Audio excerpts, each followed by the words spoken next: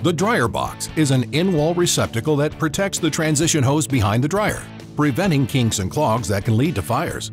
The professional finish creates a clean look in any laundry room while allowing the dryer to be pushed flush against the wall, giving the homeowner valuable extra space.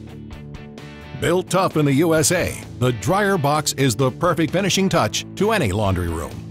Visit dryerbox.com for more information.